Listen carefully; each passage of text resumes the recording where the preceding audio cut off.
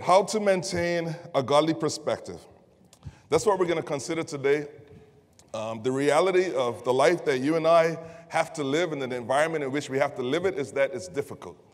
Um, I look around and I see uh, all of you wonderful people. Some of you, I know your stories a little more than others. Some of you know my story. We get into each other's lives. We're a family. That's what family does. But as you do that, you realize that there are some persons going through some things that are very difficult. Um, some have been through some things, some are about to go into some things. Um, and it's all because we live in a world that is sin cursed. Okay, that's just the reality of it. Um, everything was perfect until Adam and Eve sinned, and then everything went haywire after that. The reason that we get old and our wrinkles start kicking in and all of that stuff is because of sin. And the world is groaning from the same reason as you and I are.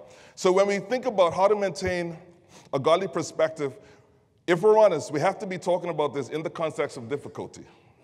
Okay, it doesn't mean that life isn't worth living, doesn't mean that everything is despair, doesn't mean that there's no good thing in life, but the reality of living in life long enough is that you're gonna find you're gonna have some issues, you're gonna have some trouble, some difficulties. Uh, it's been said that there are three basic kinds of people those who are experiencing a difficult situation right now, those who have come out of a difficult situation in the past, and those who are about to go into one. And again, this isn't to suggest that you shouldn't look for the flowers in life and the peace of God in life and all the rest of it, but that's just how it is. Um, for some of you, if you're young, maybe you haven't appreciated that some of the things that go wrong, they don't just happen to other people, they happen to us as well. Um, and so, when we're talking about maintaining a godly perspective, the first thing that we have to be able to do is honestly say, wow, living in this world isn't easy. It's just not easy. You look on the television, you look around the world, uh, you appreciate the pain that's out there and the pain that you and I experience as well. And it's like, well, how in the world am I supposed to keep a godly perspective? How do I deal with the tension between God's word, which is true, and the experiences that I see all around me and some that I'm experiencing myself? How do I deal with this tension of God's word and being absolutely true and faithful, and God wins, and all of God's children win, and all of that with the difficulties that I experience? How, in this tension of life, can I maintain a godly perspective? That's what we're going to talk about a little bit today. James 1, verse 2 to 4 says this Consider it pure joy, my brothers and sisters Whenever you face trials of many kinds, because you know that the testing of your faith produces perseverance, and let perseverance finish its work so that you may be mature and complete, not lacking anything. A couple of things to highlight there. You know, let perseverance finish its work so that you may be mature and complete, not lacking anything. If I were to ask you, and even if I were to ask myself, would you like to be spiritually mature? Would you like to be lacking nothing? The answer obviously would be what? Yes, that's what we all want. That's what God wants for us. And that's what we know that we want because we want what God wants us to have. But if we go through scripture and we go through life and we appreciate that spiritual maturity and the idea of not lacking anything, and that's not necessarily financial and all the rest of it, is the idea of having everything that we need found in God, knowing that we're secure, not lacking anything spiritually. The Bible says that we have everything in the heavenlies with Jesus Christ, so it's in that context. But if the reality and the goal is spiritual maturity, and it is, then we have to appreciate what comes before it. James says, consider it pure joy, or another way you can look at that is consider it a pure benefit. Okay, that's the idea. It's not necessarily saying, oh, let's have a party because everything is going very wrong in my life and I'm experiencing very difficult circumstances. But the idea is count it all benefit. It's beneficial. It's beneficial, my brothers and sisters, whenever you face trials of many kinds, because you know that the testing of your faith produces perseverance. Let perseverance finish its work so that you may be mature and complete, not lacking anything. The idea of perseverance, it's such a a strong word. It's a word that God is still build, building into me. It's a word that, you know, I look at my kids and I watch them, and it's, how, it's so easy to encourage somebody else to persevere until it's your time. It's, it's easy. And it's the right thing to do. You know, as a dad, I'm not going to tell my kids to quit, but I'm just like, you can do it. You can do it. I know it's hard. You can do it. But then the test comes, and God's asking me the same thing. It's like, Joe, you can do it. I'm like, God, I don't think so. You can do it. You can do it. But it's sometimes very easy to encourage somebody else, recognizing that perseverance is essential, knowing that you want spiritual maturity for them and for them to lack nothing. But sometimes we don't like to take the same medicine or apply the same thing because it's not easy. Perseverance isn't easy. But I want what God wants me to have, and I want to be spiritually mature. I'm not spiritually mature yet. I'm more mature than I was, but God always has some maturity to do in my life. And He shares it to me almost every day. And the days that He doesn't is because I pretend that I'm not listening to Him. He shows me areas all the time that I need to grow up in. But that's what I want. And so if trials and the difficult circumstances, some that I invite on myself from my own stupidity, some that just because Satan hates me, some because life is what it is, if those are the things that are going to cause me to eventually reach the goal of spiritual maturity and being in a place where I'm lacking nothing, that's what I want. That's what I want. I hope that we all want that. But it's not an easy road. It's not an easy road. So, how do we maintain a godly perspective? There are five things to keep in mind. Okay, five things to keep in mind. Um, God is good. God is good. He's just good. The Bible says He's good. If we're able to, um, in the right perspective, compare our lives and seeing what God has done in them, we'll see that God is good. But that's fact number one God is good. He is good. Two, life is hard. The Bible describes that. Okay, it describes God being good, but it also describes life being very difficult. The third thing is this God is sovereign. God is sovereign. That means that God is in control. God knows what will happen. God has the authority to see things happen and to make things as they should based on what He wants to do. He is in charge. Okay, that's what God is sovereign means. God is all wise. There are things that God knows that you and I will never know. If it were possible, there were things that God would forget that we would never know. God is all wise, He knows everything. And that's one of the things that He's constantly encouraged me with. I can get into my moods. I've been in one kind of funky little stretch lately, and I've just been trusting God to help me because when I'm funky, it's not nice for other people. I'm not a horrible guy, but it happens. I get funk. People say stuff to me, it hurts. I think I've dealt with something that I haven't dealt with, and all the rest of it. And one of the things that happens is I might feel as if I have the wisdom to deal with stuff over and above what God says needs to be done. But I'm not God. I'm not all wise. I have limited, limited, limited wisdom, but not God. God is all wise. So when you and I find ourselves in this situation and God says this and we're saying that, let's just go with what God says.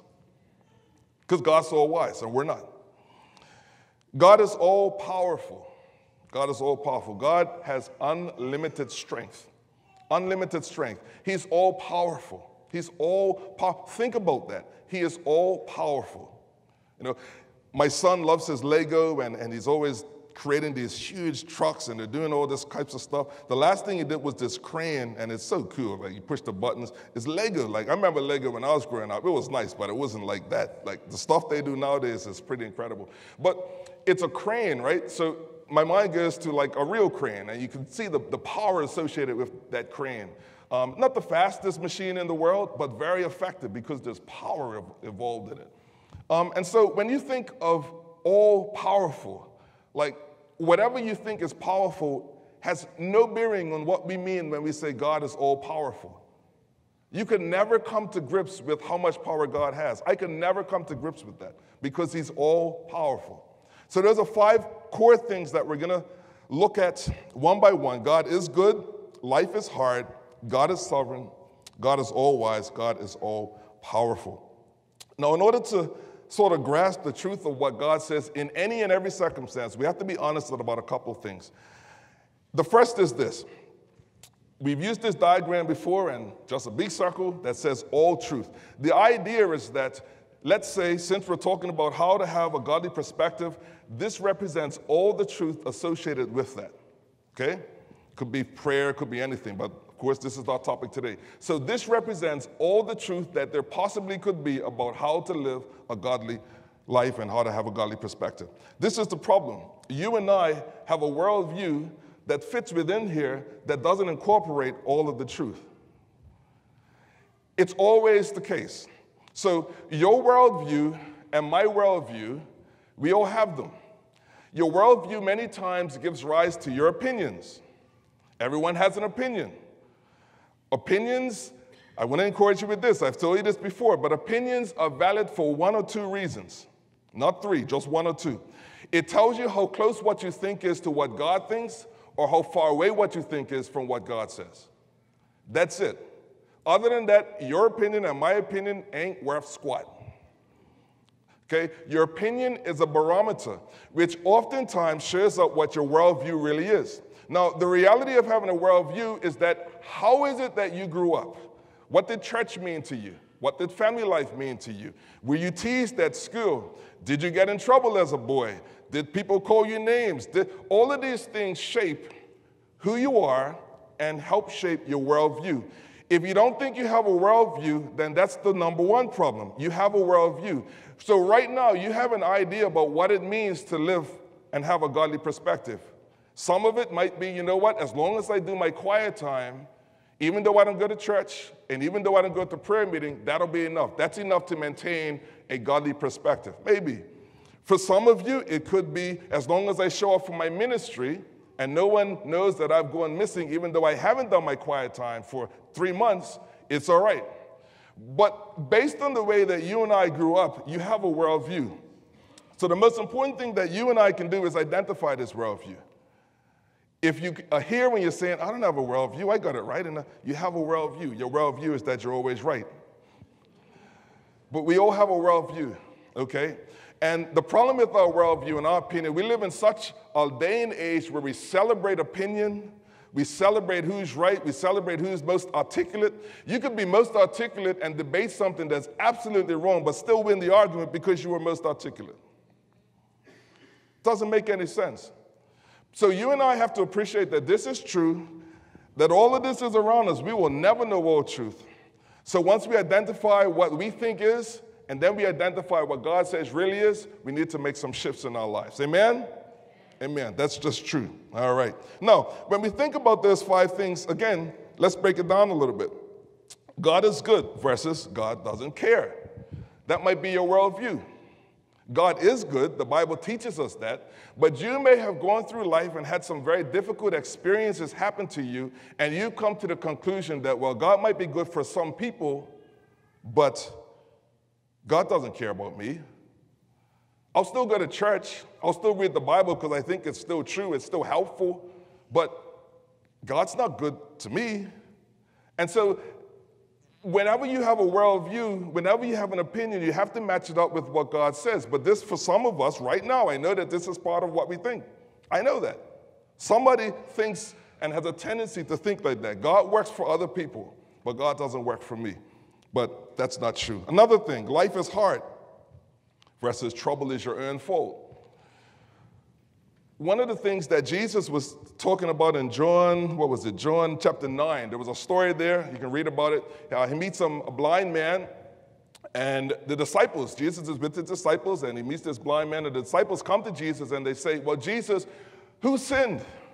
Was it the guy that's blind or was it their parents? Because in our formula, the only reason that bad things happen to people is they're messed up and they're living a jacked up life. That's what the disciples told to Jesus. So for some of us, we might have a worldview that says, you know what, if anything goes wrong in my life, it has to be because of sin, something's going wrong. And, and you'll hear this. You'll hear this taught from the pulpit. It's false. No, you can get yourself into some mess, so I'm not making light of that, you can do some stupid things that bring about some difficult consequences, and yes, it's your own fault. And yes, it's my own fault. But life is so much more complex than that. And Jesus has to tell his disciples in John 9, it's not because of any sin. This is just, I guess, what happened. But he also said, this is going to be for my glory because watch what I'm going to do. So you might have an idea or a worldview that says, you know what? Everything, everything Everything is like black and white. It's not like that. More complicated than that. God is sovereign versus I'm in control. God is sovereign. God is sovereign. He's in control versus I'm in control. Some of you may have grown up in situations that you had to take the bull by the horns, and if you didn't, you would never have gotten anything that you needed, and that's shaped your worldview to the extent that you now still live like that.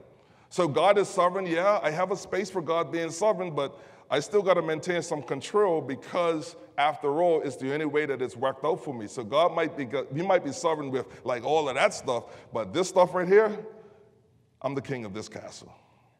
Some of you may have that worldview, that idea. Um, God is all wise versus I'm as smart as God is. Talked about this a little while ago. God is wise, He's smart, He's all wise. That's just who God is. And you and I will never know enough to have a conversation with God about anything. Job found that out. And I'm not knocking Job. Job was a righteous man. The Bible describes that. But he got to a point in his own life where he said, Well, God, it's time for us to have a one on one because there are some things going on that go against my theology and my wisdom. And so it's time for you and I to have a conversation. And we know who won that conversation. We know who won that debate. God did. God will always win that. God is all powerful versus I'll do it myself.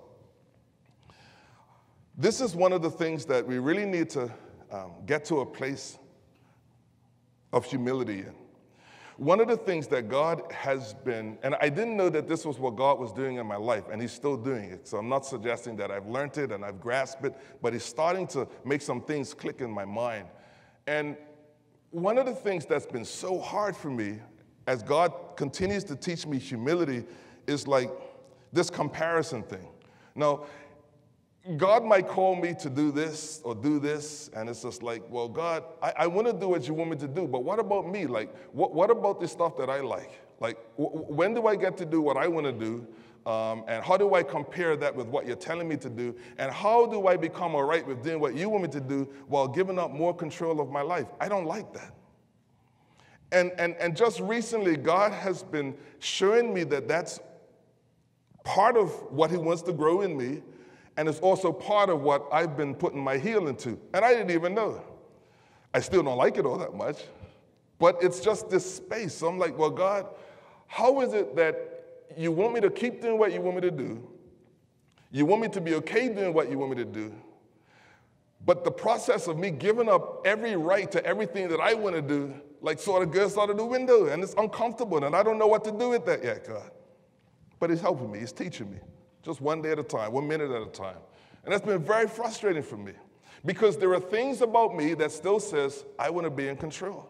I want to have the last say. I want to do things myself.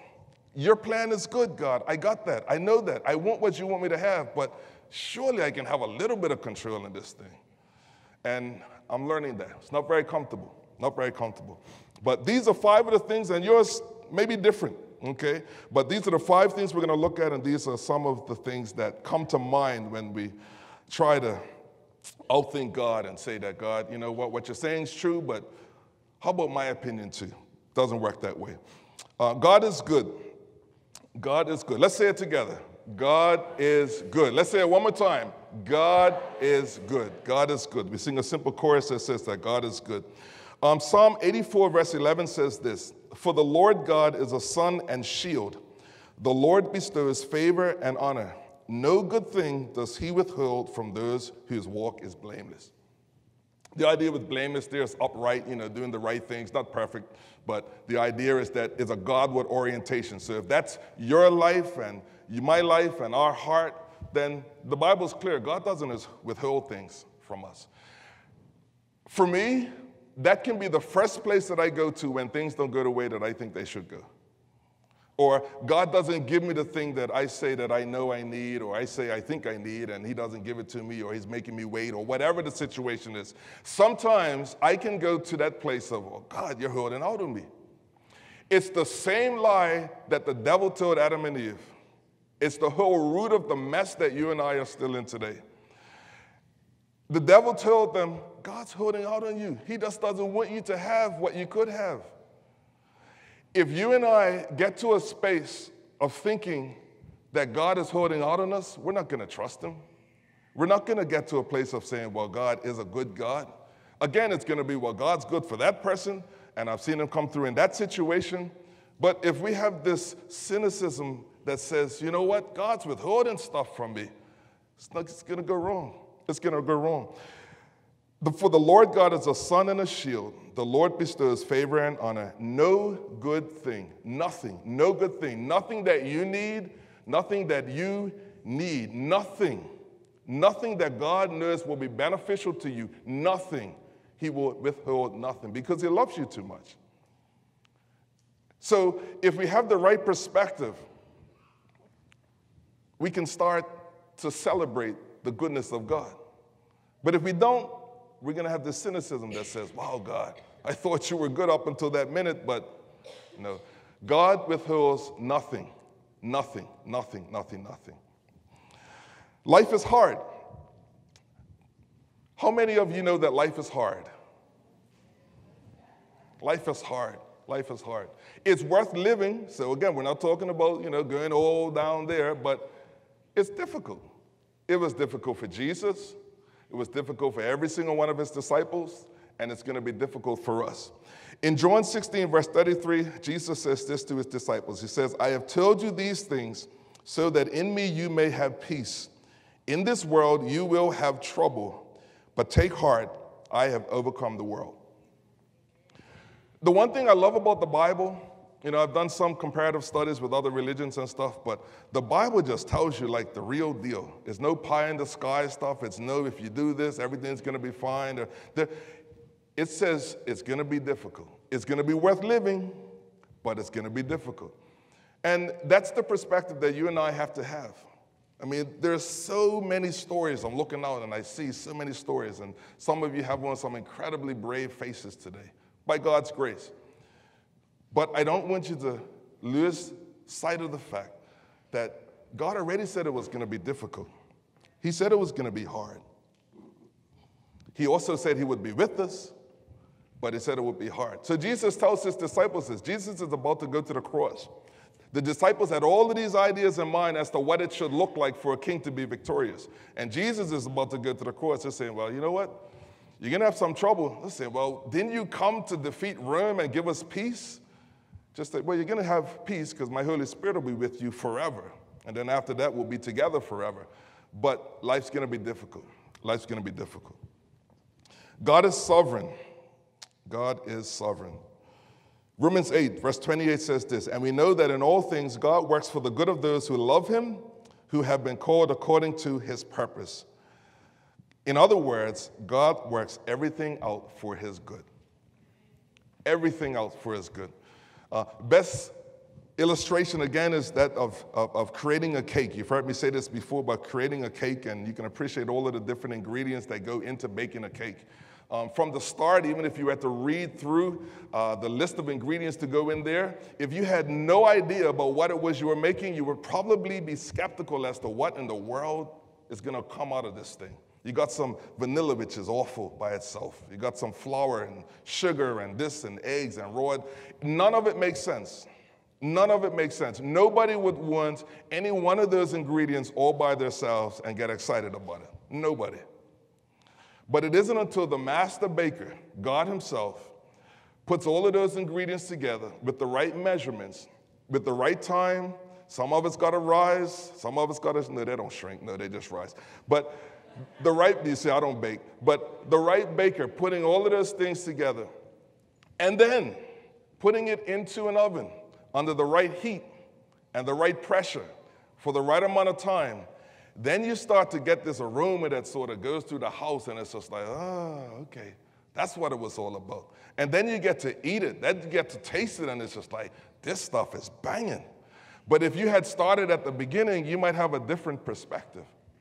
But God is sovereign, He's in control. So when He gives you some vanilla in your life that tastes nasty, that you don't want to taste, but you've probably forgotten about the pinch of salt that's in the back and the, the other stuff that is put. When He gives you those individual ingredients, and it happens, it's going to taste horrible. It's not going to make any sense. That's when we have to trust God, the master baker of our lives, to put everything together in the right combination, under the right temperature, under the right heat, for the right amount of time, to bring about the thing that he always knew he was doing from the beginning. So the challenge is you and I don't know what he's doing. We know ultimately what our redemption looks like. But right here on earth, God's up to a lot of tricks sometimes. I say that reverently because we can't figure them out. I, I was a, um, a scientist before pastoring, and I was quite happy being a scientist. I figured that that's probably the only thing I would be doing for the rest of my life. I like scuba diving, I like looking at birds, I like doing all of those things. I remember when my wife and I were um, dating, and I guess we were engaged by then. Maybe I did this afterward to, to make sure that we would still get married. But anyway, we would be driving and, um, you know, I would see a bird. You know, if it's full time for me, maybe you want to drive with me, maybe you don't. But breaks happen like that because there might be a bird that I got to see. And that was our first introduction to just how weird I was. But I love science. I love science, all right? Uh, but interestingly, on this side of it, I still love science as much as I've ever loved it. Um, but now I can look back and see how God was using that and the environment to just burn things into me and grow me in ways, not dreaming that I would be a pastor, not dreaming for a minute that I would be a pastor. But that's how God works. But God knows what measurements, what timing, and He knows what He's doing. He knows the final result from the first ingredient added. And so for you and I, we got to trust Him. We got to trust in His sovereignty. Amen? God is all wise. Bible says in Romans 11, verse 33, Oh, the depth of the riches of the wisdom and knowledge of God, how unsearchable his judgments and his paths beyond tracing out. Who has known the mind of the Lord, or who has been his counselor? Who has ever given to God that God should repay them? For from him and through him and to him are all things. To him be the glory forever. Amen. God's wisdom is just deep. Now, hands up if you know who wrote this. Paul, all right. The Apostle Paul. Paul knew God pretty well. You know, God gave him some incredible visions, and he actually gave him a thorn in the flesh, a difficulty, which was to keep him humble because God had revealed so much incredible things to him. This is the Apostle Paul, having spent uh, at least three years in the, in, the, in, the, in the desert, and Jesus Christ himself teaching him one on one. This is the Apostle Paul, and based on all of the experiences that Paul had with Jesus and with God the Father, he still comes to this conclusion oh, the depths like, like, like who, who can figure God out? We can trust him, we can trust his heart, but don't ever think that you can figure him out because he's all wise. He knows things that we'll never know. He created the heavens and the earth. Enough said. That's like a mic drop. God could do that. I created the heavens and the earth. Done. Who can do that? Who can do that? The thing is still spinning around and the stars still come out and this, like, in the Bible where the, the, the, stars are named and it describes God calling them out by name and stuff, they've been doing the exact same thing from the second that God created it. He's all wise. He knew about gravity and all of that stuff. We didn't invent anything. We understood it. It became apparent to us because there was a real God who put it in perspective or put it into place. But the depths of God are beyond us. So I guess that can be sort of daunting as well as frustrating. Or I'll speak for myself. It can be daunting and frustrating for me because I like to think that I'm pretty smart. I like to think that I'm got some wisdom that I can get some stuff right and stuff. But keep in mind, anything that you and I do right is because God gave us the wisdom to do it. You and I can do absolute. When you gave my wife some coffee this morning, that was exciting. She was in bed. I said, let me go make her a cup of coffee. No, I love my wife. But the desire to do that, I can't even take credit for that. The desire to please someone who God has given me to help me and to love and protect, I can't take credit for it because that's what God always envisioned should be. He gave me my wife, and then He gave me the motivation and the heart to actually do it. Sometimes you and I take way too much credit for things that we shouldn't be taking credit for. God is all wise. The depth of his knowledge should blow us away. And the last thing is this God is all powerful. Jeremiah chapter 32, verse 17 says this Ah, sovereign Lord, you have made the heavens and the earth by your great power and outstretched arm. nothing is too hard for you. Nothing is too hard for you. In other words, when you can sit down on Mars Hill or in the Senate or anywhere else and you can come up with an idea and figure out how God created the heavens and the earth, then you can pull up a chair to the table. Until then, just recognize that God is God. God is powerful. He's powerful, he's strong. Sometimes my mind goes into the imagination of sort of like the demon world and just his power. The Bible describes in Job where, you know, Satan appears before God with the angels and, and like there's no, there's no, uh, there's no confusion there. There might be confusion for us, but Satan knows God's power. God knows Satan's limitations. They're there. It's just incredible. But God is all powerful. So God has power that He will use on your behalf and my behalf right now in the circumstances that you go through. But sometimes we can go to God with the perspective that says, Well, God, again, you're strong, you're powerful, and I've seen you work on that person's behalf, but I don't think you can handle this situation that I'm in. This situation that I'm in is beyond even your power, God.